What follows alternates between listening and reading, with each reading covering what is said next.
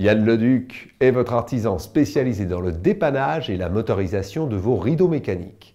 Fort d'une expérience de plus de 20 ans, il intervient sur les zones de Guérande, La Baule, Pornic, Savenay, Saint-Nazaire et sa région.